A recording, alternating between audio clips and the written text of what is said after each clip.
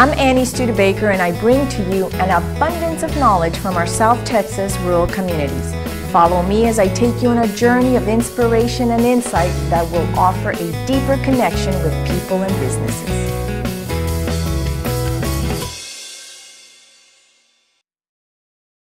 I've always been fascinated with photography, especially wildlife. Today, we'll meet Greg Storms, owner of Mockingbird Photography. He'll give us an in-depth look into the art of wildlife photography as we visit La Jarra Ranch and Estero Llano Grande State Park. But first, he's going to teach me the basics. So sit back and enjoy the show. Okay, Greg, I'm so glad that you're here because I really need to learn a little bit more about this camera and using this big lens. I have a Canon in 70D and you have a Nikon and you have we have pretty much the same lens. So I really need this. Okay. So let's let's get started. I'm All going to take notes, a few notes. All right. The thing is, you need to understand some of the basics, and light is absolutely necessary for photography, so you need to understand how you, you get light in and the right amount. It- It's similar to, let's say that you want, wanted a bucket full of water, okay? And let the water represent the light, and the bucket represent the amount that you need. You need a full bucket of water. Well, you could use a small tube to allow the water to come in. It's going to take a long time to fill up the bucket. Or you can use a large hose and it'll fill up the bucket quickly, time wise. Same thing is true with a camera. When you have a small aperture, which is the opening that is allowing the light in, if it is small, then it's going to take longer for enough light to come in to give you a properly exposed picture. Oh, I see. If it is wide open, then you can have a faster shutter speed, which means you're just taking in the light much more quickly. Okay, so the smaller it is, the less light that comes in and the longer takes shut- longer longer shutter shutter speed. speed. I understand that now. Okay. Okay. Now, the difference between a small aperture opening and a large aperture opening is now going to be your depth of field. Yes. Okay? And depth of field uh-huh. means how much of the picture is in focus from front to back. Oh, okay. Okay. If you use a large opening and take the light in quickly, then you're going to have a very narrow depth of field. It's going to basically, sometimes even, let's say you're photographing a bird, it may be that the front of the bird is in focus, but by the time you get to the tail feathers, it's, it's a little bit blurred or the bokeh. And that is- happens. Yes. And again, that's because of the uh, aperture opening. now, I, I've heard some pro photographers say that uh, 8 is great. In other words, uh, setting your camera at f8 is going to give you a uh, good depth of field. However, if your subject is close, then you're going to still have uh, may, possibly more depth of field than you really want. Okay, I had a lot of problems yesterday. I got this lens and just got it in the mail not too long ago. And we went to shoot these baby birds in the nest. Well, there was so much little twigs and branches there in the way. Well, I never got a real good shot. It would, uh, and I'm going to go try it again today after this. So, there are going to be times that there's no way around it unless you change and you say, okay, I got to get down and shoot this way, and that way I'm going to shoot kind of under those branches, and my, my view is going to not include all those branches. But you, you've got to do all that composition before you ever press the shutter. wow. And, and look, move your camera, rotate it on your tripod. Okay. As you look through your viewfinder, look for the most clear opening.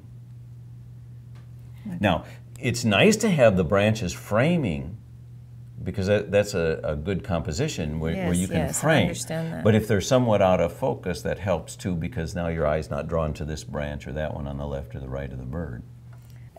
I see why now. So far, I can understand why what mistake I've made. Let, Okay. Let's keep going. Let me see. What else? The nice thing about a long lens is that also, if you changes, it compresses your uh, depth of field. So it, it, it makes things look closer. Wow, yes. Uh, it, it changes. So you can get away with a little bit higher when something's close. Okay, tell me a little bit about exposure. Okay. We've set your camera on aperture priority, which means that you can change your aperture. You should be able to see that your speed, as the f-stop goes up and your opening is getting smaller, your length of time is going to get longer and longer. So it will take, it takes longer to take the picture. Yes. Now, F22 is great for landscapes. Now you want a great deal of your shot in focus. It's not like you're photographing that bird on the nest I where all you want understand is the bird. I understand. A person that I assist and I learn a great deal from, and her name is Ruth Hoyt. I, I think Yes. you, uh, mutual acquaintance. Yes. And Ruth is always saying, watch the edges. Yes. Watch the edges. And make sure you don't have something coming in because that'll you'll wonder why is my photograph not as interesting as this other person who took it? Well, look at the edges or look at where is the placement of your subject. Don't place something generally. You can always break rules in photography, but only when it really emphasizes a point.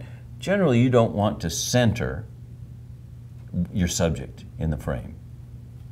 Right, the rule of thirds. Rule of thirds, exactly. No targets. Exactly. that that I, I learned from Ruth Hoyt. She did tell me that. And, and that's a, a big benefit. And, and I know uh, many kids, when they start out, that's what they do. You know, whether it's with an iPhone or a, or a point and shoot, they're going to center it because it's the easiest. You know, that's Mm-hmm. you get it in the middle. But eventually, you become a little more creative and, and add some interest to your uh, photographs. Wow, now I can't wait to get out there and use this lens and use it correctly. I, I can see where I made the mistakes here, more than one. We're gonna go get ready and go outdoors and finish up this uh, mini lesson, but you're gonna see major improvement after Good. this. Thank and remember so to tuck much. your pants in this time. Oh, yes. When we return, we'll visit La Jarra Ranch and capture some amazing birds in their natural habitat.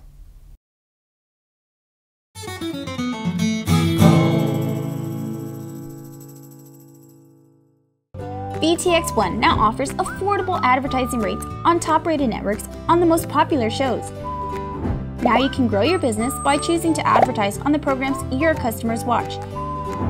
Take advantage of VTX One's TV coverage area and reach your customers with your own TV commercial.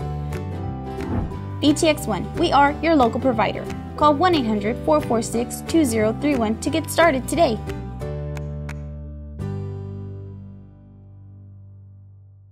You already know VTX One offers the best in television entertainment, but did you know that we offer the best box office hits?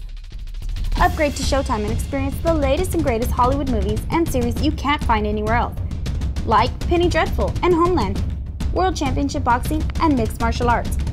Get 10 great channels and 4 high definition channels, all for only $17 a month.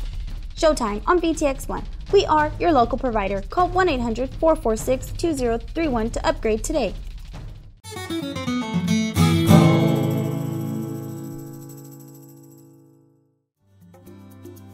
Welcome back.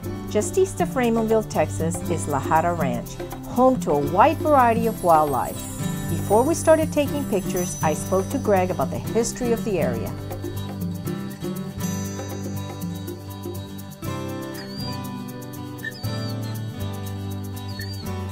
Tell me the name of this ranch. Okay, it's La Jarra, La Jarra Ranch, and it's going to be developed. This portion is going to be developed into a nature um dedicated to nature, whether it's butterflies or insects or plants or birds or any other critters that are out here. So it's a little bit of everything.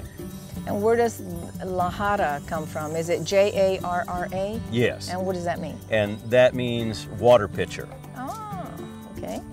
And it had what to do with um Mr. Raymond's coming here and, and getting the ranch and if he could get water and so forth. And he's he, something with a reference to the pitcher, you know, a pitcher of water from the springs up near San Antonio. So that's where that came from, and that's how he got that Uh, what are we going to be looking at today here? Well, we, we've got a number of things. We can show you things that are in the process of being developed. We can show you some of the areas that where there are going to be blinds, and I have a pop-up blind in one of those areas. This property, which is 500 acres, is also going to include a senior center for the people that have Alzheimer's and and uh, like a relaxation place or something. Yeah, or yeah, uh, like a treatment treatment center type thing. There we go, okay. And then there also will be places for those people that, let's say you're 55 and you just want a place to retire. You don't want to retire in a condo in the middle of a city, so but you would like to live out in the country, but you would like to have a facility to do that, and where there's some other things. Who owns this property? This is uh, owned by the Wettigroves. Uh, Joe Wettigrove is is the one that I actually work for, and he, and he's the one that hired me. It- you know, it was interesting. Four years ago, we were on a tour uh, from uh, Wild and Willisey, Okay. and we were traveling around, and he said he owned a ranch somewhere, and I said, really? And I said, where do you own it? And he says, well, do you know that pond out across from the cemetery? He said, that's the front of the ranch. I said, really? And my interest was, I was, I just asked him if I could have permission to walk beyond the the uh, little platform because technically I knew that was where you were supposed to go and not beyond. And he said, I've watched you work. Yes, I'll give you permission. Well, later that afternoon, he called me and asked me to come out here. And before the end of the day, I walked off with the combination to the so I could get in anytime I wanted to. Yeah. Well, I'm all excited about this. Okay, Let's- great. Let's go. Let's go. I can't wait to start taking pictures. Greg has been an amazing photography instructor as well as a great guide.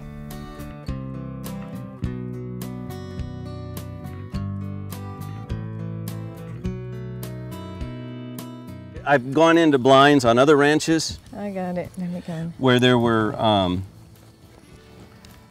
big, uh, huge black widows hanging from the ceiling. Well, please don't tell me. I'm really afraid of spiders. We position ourselves in the blind so the birds wouldn't see or hear us. The last step was selecting the right lenses. Something coming. I hear 'em. It sounds like blackbirds coming in. And they're pretty bold because they've gotten used to me. Yeah. Really? I'm gonna lower this just a tad. It's got a red head. Yeah, that's that's the male. The female's all ah. yellow. And the gold, the, when it says golden fronted, uh-huh. it has nothing to do with the color of the head. Right at the tip of its beak, uh-huh. where it goes into the head, there's a, it's yellow, like a yellow spot between its eyes Yeah. on the bill. Oh, interesting. And that's how it gets it when it flies at you. That's the yellow front, the golden fronted. The red one. That's awesome. Wow, Two. Yeah, they're, they're upset with each other. They don't each other there.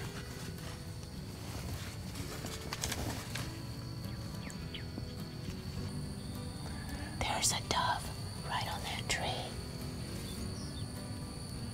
Oh, there's a red wing again. Oops, sorry. Big dove on the tree. I want to get.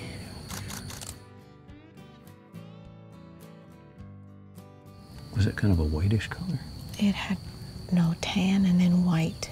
On the wings? Yes. It's a white wing. White winged dove. What's always brought lots of people to the valley for hunting. That's it, yeah. But usually there'll be. I'm surprised the rabbit hasn't come back out. There it is. Speak of the devil. Let's see. It's like Oh, that's a quail. That's quail coming. They're calling to each other. That's a male and a female calling to each other. Keeping track of each other. I think that's what I saw their head out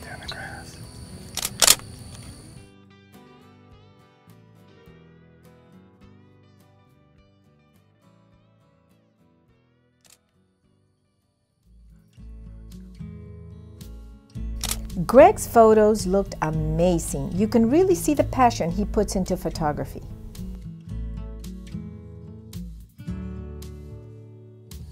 Yeah, that's the white wing. Oh, here, there's a curved bill thrasher.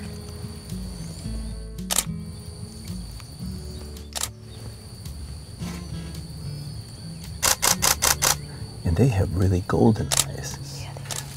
Working here has been such a blessing to me. Um,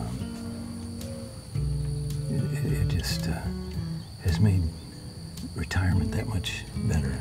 This is fun. I love this. Actually, I was looking for one of these blinds.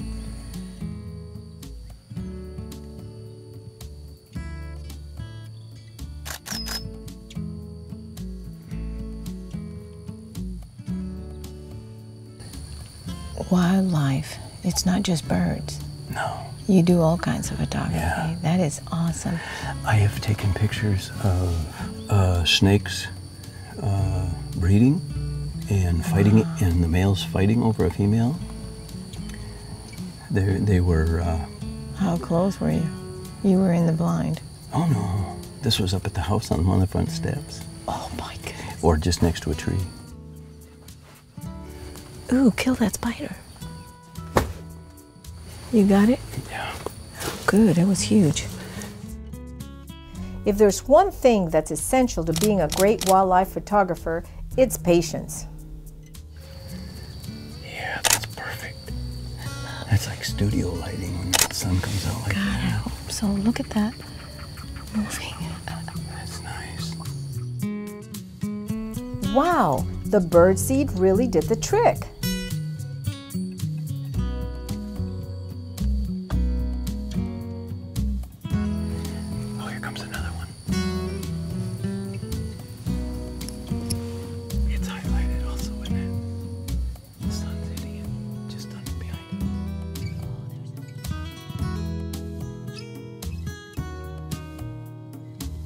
I really was learning a lot from Greg.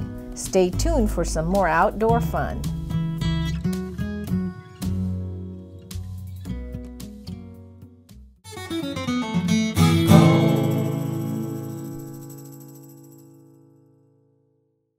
Tired of the same old food?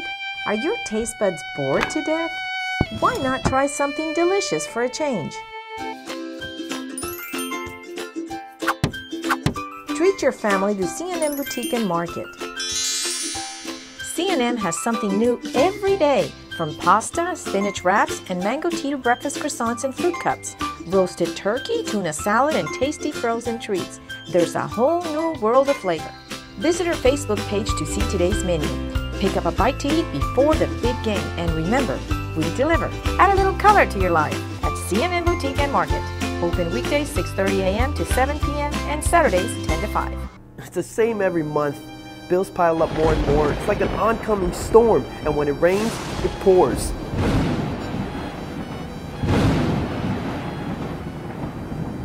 But there's hope. Sunloan is here to help you with the money you need when you need it. Sunloan offers reasonable rates and friendly service, and a tax service that can't be beat. Let them help you repair your credit, refer a friend, and get $25. Bask in the glory of a new day. Sunloan. Call 956 232 2057. You already know VTX1 offers the best in television entertainment. But did you know that we offer premium programming from HBO? Upgrade to HBO and experience hit original series like Game of Thrones and True Blood, World Championship Boxing, and the biggest and best Hollywood movies. Get 7 great HBO channels and 2 more channels for our HD subscribers. All this for only $19 a month. HBO on VTX1. We are your local provider. Call 1 800 446 2031 to upgrade today.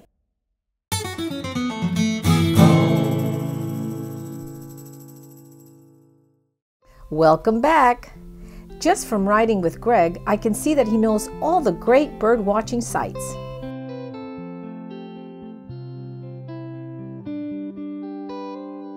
As we were getting ready to snap a photo, we found ourselves looking at a nighthawk's nest on the ground. You really never know where your next photo is going to come from. It's important not to make too much noise. You just have to concentrate on taking an amazing picture.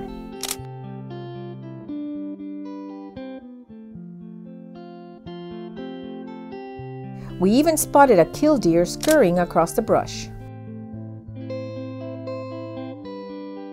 Sometimes with smaller creatures like insects, it really helps to get down to their level.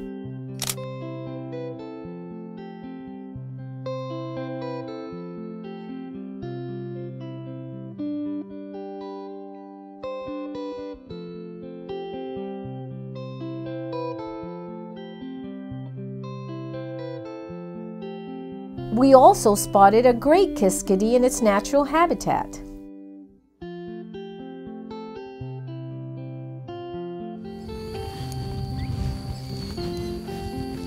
What is that? There's one of its eggs. Oh, wow. That's Let when they me- killdeer eggs.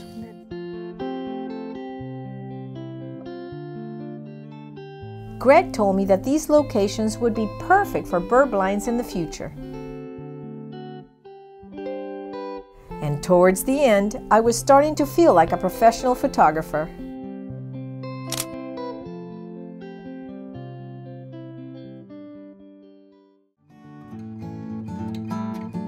Next, we stopped by Estero Llano Grande State Park. There were many blackneck stilts in a nearby wetland marsh.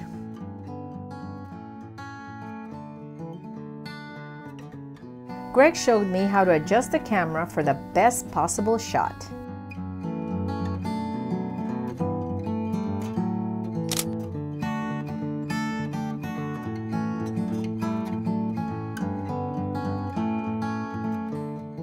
I'd like to thank Greg Storms for taking the time to show me what professional photography entails. If you're interested in photography lessons, call Mockingbird Photography at 956 454 0481. Special thanks to La Jarra Ranch and Estero Llano Grande State Park. I'll leave you with some of Greg's phenomenal photography. Until next time.